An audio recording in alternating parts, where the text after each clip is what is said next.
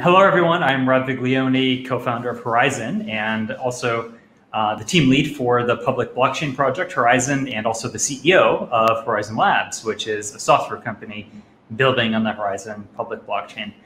So uh, I, I, guess what I want to do today is um, just go over a brief introduction to what is what is blockchain, right? And we'll we'll keep it very general, uh, high level, and we can go into as many details as you like.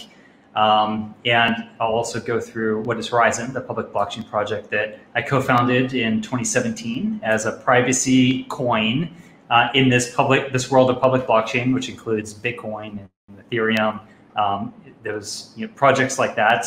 And then I'll talk about what we're doing that's, that's different and where I think the industry is going and how people can participate, especially uh, students these days, what you can do today to make yourself more competitive tomorrow um, so that you can actually be part of this. So let me go through. I my background is uh, as a hard scientist uh, originally in physics, mathematics. Uh, I did uh, I did um, um, a tour of duty in the U.S. Air Force, and while I was there, I was part of Space Command and uh, worked actually functionally as a software project manager um, at the tail end of my career with uh, with the Air Force.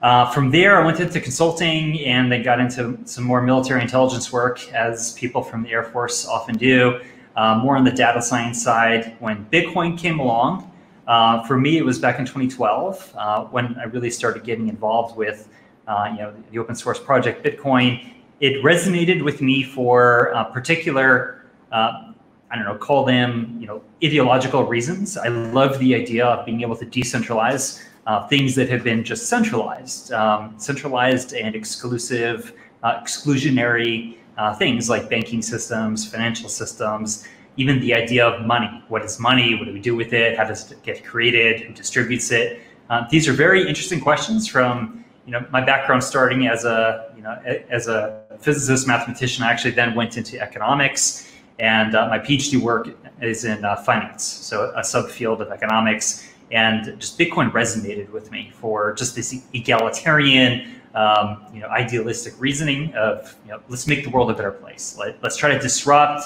the things that are just core to everyday life, like financial systems, um, you know, monetary systems, banking systems. Let's try to decentralize that. Let's take a stab at trying to make the world more inclusive, uh, more fair, and uh, also more efficient.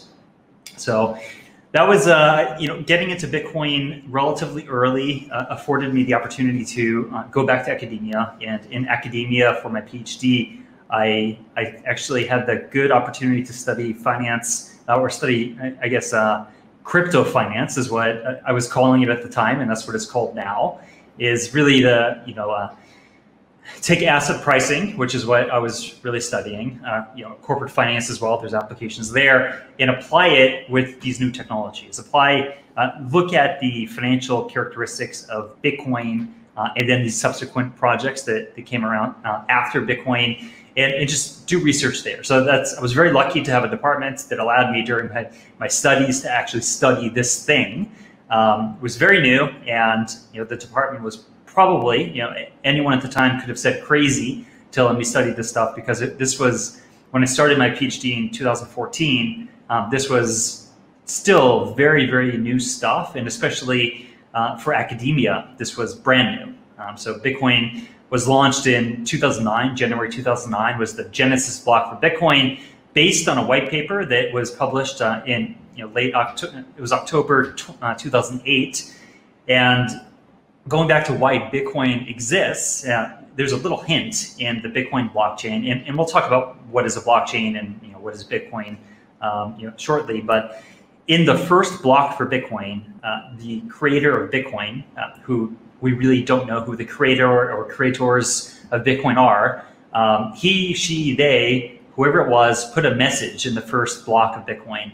It was an encrypted message that referenced the bank bailouts uh, back in 2008. So, you know, the 2007 2008 financial crisis, central banks all over the world took coordinated actions to bail out their banking systems. Functionally, what this meant was actually pumping a lot of money into banks, uh, bailing them out when they took losses, acquiring banks, basically printing a lot of money, using the central bank and its ability to print money to bail out banks and therefore bail out the financial system. So if you talked to me 10 years ago, I would probably say this was an absolutely horrible thing and they're just diluting the money supply and just adding so much systemic risk. Um, now that I actually you know, have some PhD work under my belt, I, I, understand why central banks did it, and I understand the um, you know the crisis that was ongoing at the time, and why central banks took the actions they did to attempt to um, yep, sorry about that um, attempt to alleviate uh, contagion. So basically, they didn't want a cascade of banks failing and you know a cascade of problems in the financial system. So I get it, um, but fast forward from 2008 uh, to where we are today, and Bitcoin uh, coming about, at least in part, at least motivated in part, uh, because of central banks' actions in the 2007-2008 crisis. Um, you know, creating a new monetary system, creating a, a monetary system that's completely decentralized, permissionless, no one controls it, and importantly for computer science and, and you know programming students, it's programmable money. So that's the really the big innovation is removing third parties from uh, having to control money or create money, and then being able to do things really in, in the modern digital age where you can add code, add logic um, to money flows and, and, do this real time and do this in, in a way that's completely automated and accessible to everyone in the world really was a breakthrough. So when it came about this, and you know, for me, it was really 2012 before I started getting involved. Um, it, it, was it was pretty mind mind blowing for me, and, and I loved being able to actually go back to academia and and uh, study this. Um, actually, a, a, quick quick anecdote was I, I first got involved with Bitcoin actively supporting the project uh, when I was doing a tour of duty in Afghanistan, and I um, decided, hey, this is really good because I, I know that at least all, uh, really many of the Afghans that we were working with and that, that I knew were very skeptical of their local currency, the Afghani, and uh, they knew it was extremely risky, volatile, and prone to just um, extreme devaluations. And this is not uh, good for your financial uh, future planning, uh, financial planning future, where you have to plan uh, with a currency that could completely collapse at any moment. Um, so I, I, figured this would actually be uh, Bitcoin would be an interesting alternative for people in Afghanistan, at least, or these other very volatile countries, where they could actually, uh, you know, here's an instrument that they can, you know, uh, put their resources into and get them out of their their, their more volatile jurisdictions.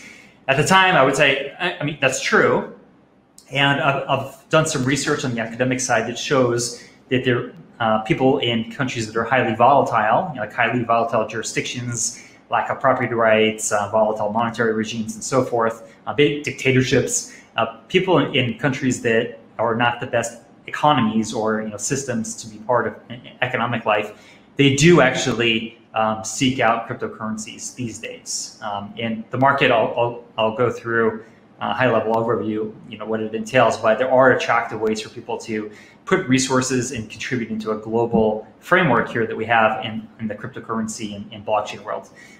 So for me, um, you know, going to academia and studying this stuff, I, I even uh, was hired back as an adjunct faculty member to teach a Bitcoin and blockchain applications and finance course. Um, so I don't have my slides from the course. Uh, this is more high level than that. Um, but the, really the bottom line is academia is catching on, financial institutions are catching on, banks are catching on, governments are catching on, uh, software companies for sure are catching on. There's something huge going on here in this industry. So blockchain as a technology, as a tech stack, blockchain um, in its applications like cryptocurrency and other applications like smart contracting and things that we can do going beyond cryptocurrency, it's catching on. People realize there's something really big and important going on here. Uh, and it's very important for students to be paying attention and for students to start getting some familiarity with the technology behind really this, this new revolution.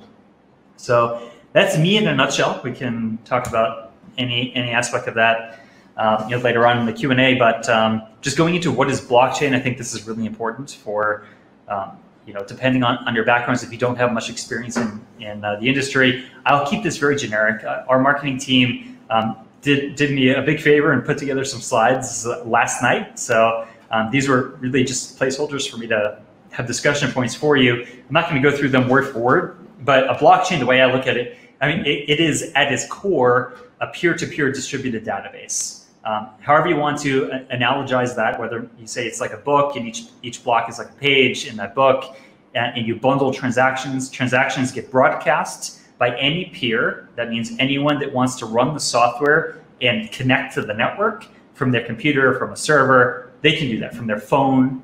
Uh, you can connect a peer to the network, and you can broadcast a transaction.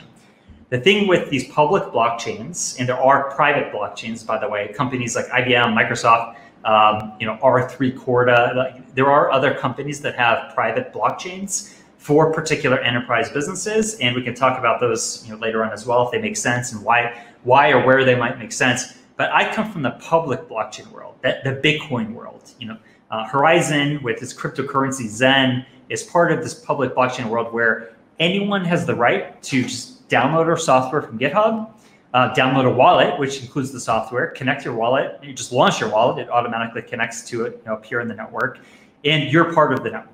You are a peer that is equal, if you're running a full node, to anyone else in the network. No one has, say, super admin privileges over you. No one has any kind of more privileges over you than that node that you just added to the network.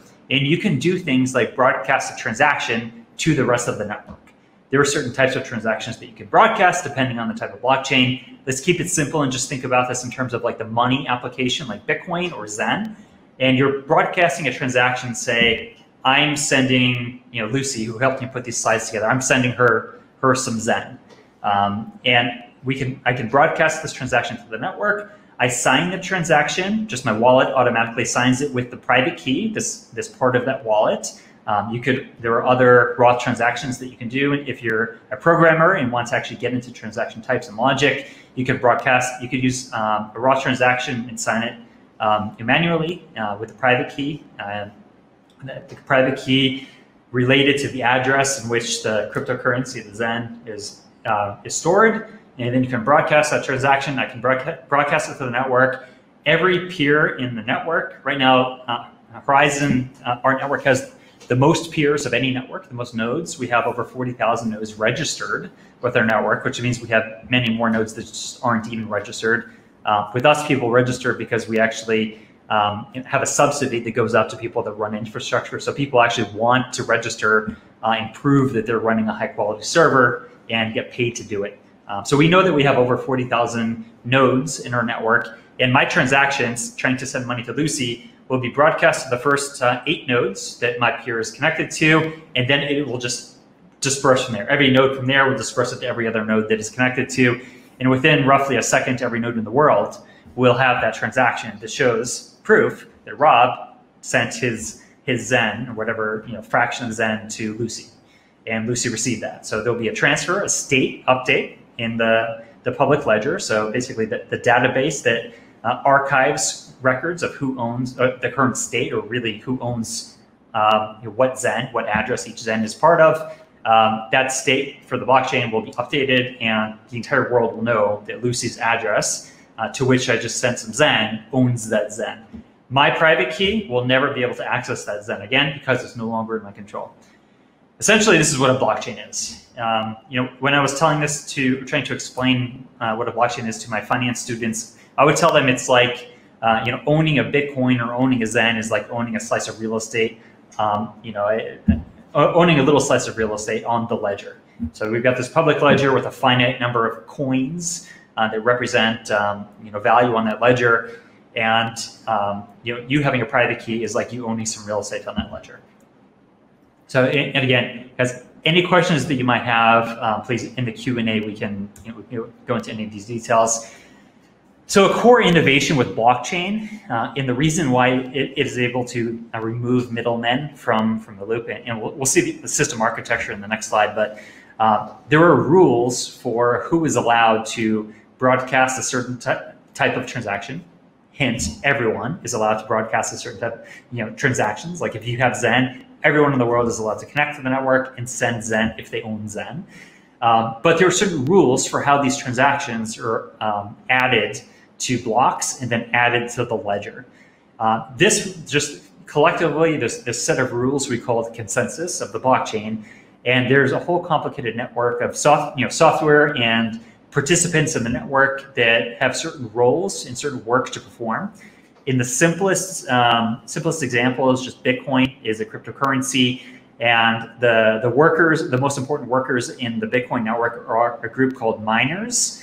Miners, uh, you don't ask me why they chose the, the name miner, but I think it was an uh, analogy to the idea of Bitcoin being like gold because there's a finite money supply. and this, again, compared in 2007, 2008 to central banks printing trillions of currency units, and actually you know that on steroids today during COVID uh, central bank reactions. But the idea of Bitcoin was to have a finite money supply. They can't ever be inflated away.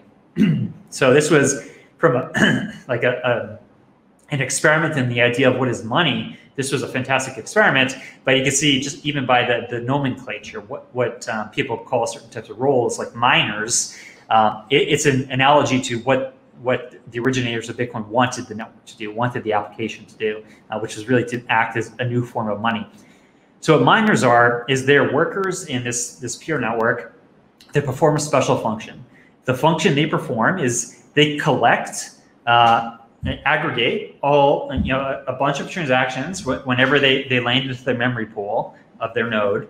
They, ag they aggregate them together and they they um, join a, a, race, basically a computational race, to see who can, uh, in, in, the case of Bitcoin, who can solve a computational puzzle. Basically, it's it's um, doing a hash function. So constantly generate just massive string of hashes and look at the results of the hash and see if you have you know a certain number of leading zeros. So like if you look at the, the output of like a, a hash function like SHA-256, you'll see just a scram like a a string of characters, um, you know, like letters, numbers, just just a string. And uh, what what um, Satoshi Nakamoto did, the, the creator or creators of Bitcoin, is they set a rule that said to prove that you're doing work uh, and to, to win the right to add your block to this ledger, um, you have to continuously generate um, you know uh, these hash functions look at the results and see that the winner of the race will be the one that uh, is the first to report to the network that they have achieved the right number of leading zeros. I, I don't know what it is now, eight, uh, 16, 18 leading zeros. It's very hard to do. So if you um, you know use your command line to go and start generating SHA-256 um, your computations, you'll see it's a completely random thing. So in, in the the you know the the 256 modulo you know, modulo p space in, in which the SHA-256 algorithm resides. Uh, it is a real um, you know it, it, it is a real miracle to be able to come up with you know, the right number of leading zeros in the string output that, that you obtain. So this is what it is though. This is the competitive race. And you know some people think that mining, like proof of work mining, like, like uh, the the pro process that I just described is. Um, you know, some people, um, you know, are, are critique it and say it's a complete waste of electricity. It's a complete waste of resources to have all these uh, workers, all of these, um, you know, dedicated systems around the world, computation, uh, computational systems, generating useless hash functions just so that one of them can win a race and you know, win the right to add their block to the network. Um, there, there is a counter argument to that. Um, you know, so yes, for sure, there's a lot of electricity that's used in proof of work to do that. And yes, we can probably come up with better, more efficient ways that are less energy intensive. And we absolutely should as an industry. Um, many projects have. Um, Horizen, just so you know, has a proof of work core blockchain, but we're collapsing our average uh, electricity usage per transaction by creating a, a, parallel blockchain system called like a sidechain system that has lots of blockchains that operate in parallel in this ecosystem, all linked or interoperable with a core proof of work blockchain for security. But if you look at just the, the total network and everything that's happening, uh, the average electricity cost per transaction or usage on the network collapses when you do this. It's still not zero. Um, so you still have to burn electricity to secure the Horizen network you have to burn a heck of a lot of electricity to secure the Bitcoin network. So there are workers in the system, and there are rules of the game of how people are allowed to uh, participate and how people come to consensus. Or, you know, really like the, the nomenclature of that means consensus. Everyone in the network, by design of the software, agrees that uh, state transitions are valid and that, that workers that you know, win this race and append their block of transactions to the network had a legitimate right to do so. So that's what consensus is in a nutshell, and, and that's the way it works in the Bitcoin network, the Horizen network, and many other proof of work blockchains. There is another popular consensus type, um, you know, and really going to who who has the right to add a block of transactions to the ledger, and it's called proof of stake. So really, at the end of the day, all you need is to, for everyone to agree in the software uh, what are the rules for how someone gets to add a block of transactions to the ledger uh, and, and basically change the state of the network.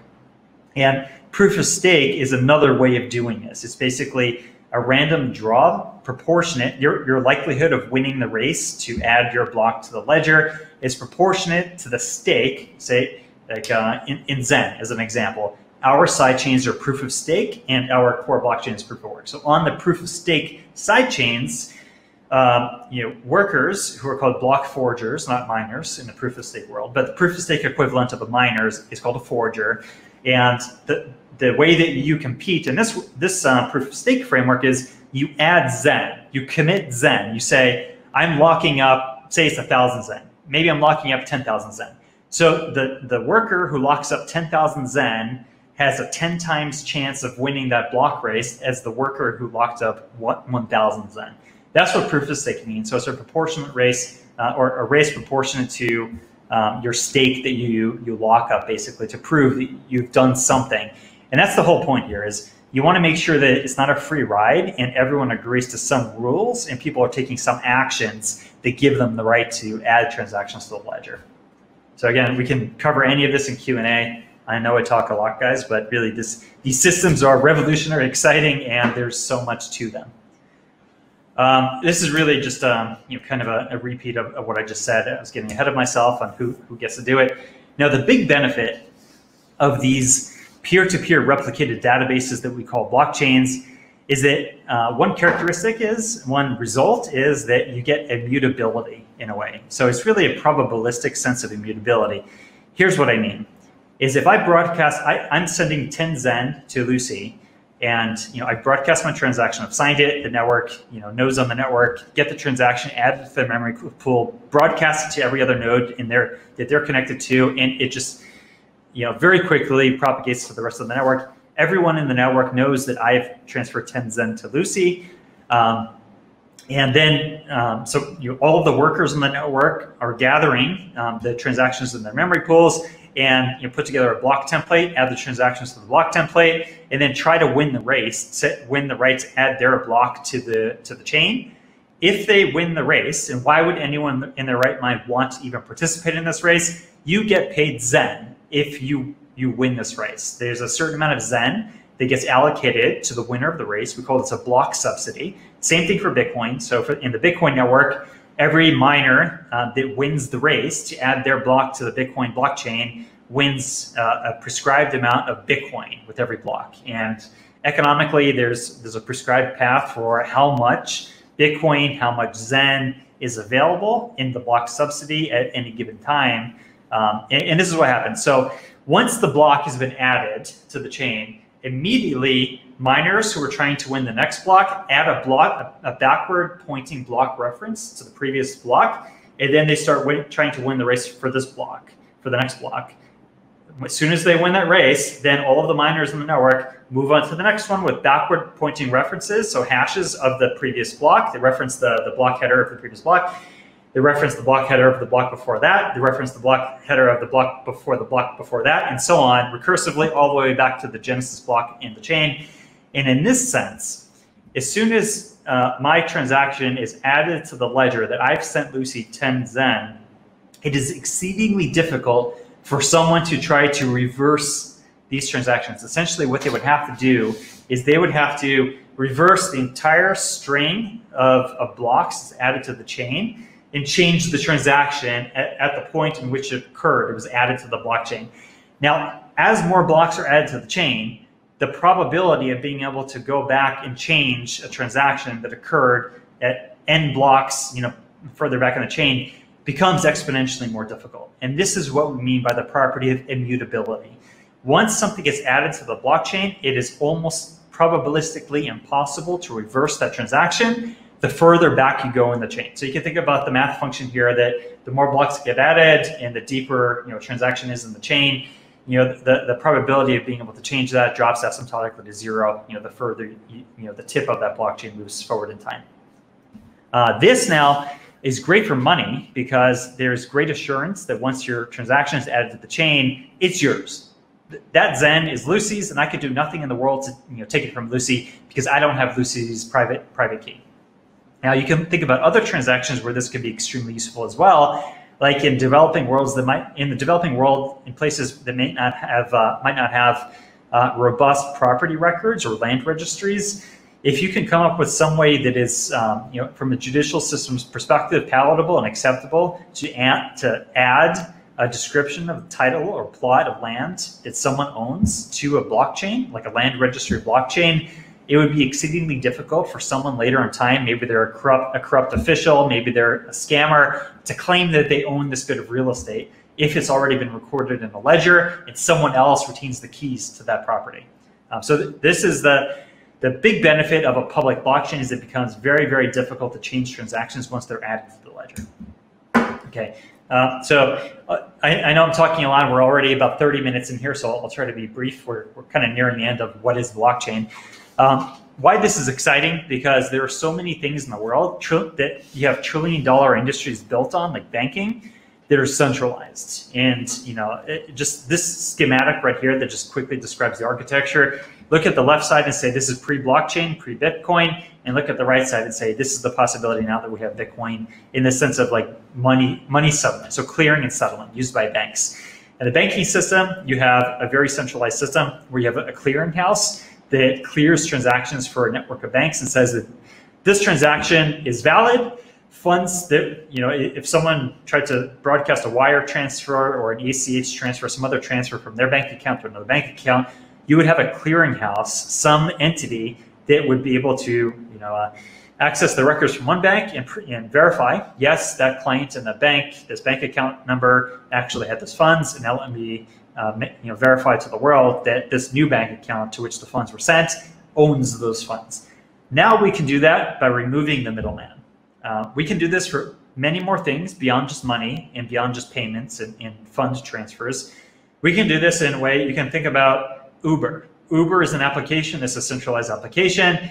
Do we need it? Or could we actually have a decentralized Uber? One that's actually built pure software and remove the company from the loop. I don't know. No one's actually done that at scale yet, but this is just one example of maybe something else that we can do. There are many other things that we can do in a decentralized fashion that might be more important than uh, your might might actually be better business models, or maybe not even better, just different business models and my prediction for where we're heading economically, you know, say the next 10 or 20 years is this technology and why it's so important, it will entirely disrupt some industries. Some industries 10 years from now will not be recognizable um, to the way they are today or the way they were 10 years ago. Um, many industries will be affected, meaning there will be many applications, whether they're back office applications that are just more efficient, um, you know, using the peer-to-peer blockchain uh, context, um, and you will see elements of businesses, uh, you know, transformed or made more efficient because of this technology. And then there will be a set of uh, industries and ways of doing business and the ways you know the, the people uh, interact with each other that won't be impacted at all. So let's not get ahead of ourselves and think that blockchain is going to entirely change everything in the world. It's not, not at all. There are some use cases for which blockchain actually makes sense, and we could talk about some of those. And there are many other use cases for which blockchain doesn't make sense. If you want to think of a, a, a, a reason for why blockchain might not make sense. If you have an application that's just within your company, or maybe it's you and your wife uh, running a, a, shared spreadsheet, or within your company you have a, a, spreadsheet, you probably don't need to share that spreadsheet in a replicated peer-to-peer network for, with any, anyone in the world able to access it, right? It's probably overkill. You could probably replicate, put that uh, spreadsheet in, in, in the best case scenario uh, on, on a cloud application so it's distributed across some servers and you're not going to lose it if say your computer gets destroyed. There are many other ways of doing business that don't require blockchain. And I think that as entrepreneurs or as programmers, if you're looking for a job, think about the types of businesses that are going to, if they start advertising that they're doing something in blockchain, make sure that it actually makes sense or it may not exist some years from now and you may be out of a job.